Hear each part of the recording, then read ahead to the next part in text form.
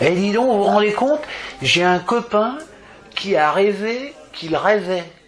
Et il rêvait à quoi? Bah, qui rêvait. Et ça s'est terminé comment? Bah, en fait, euh, au final, c'était qu'un rêve. Oh, normal quoi. À vous.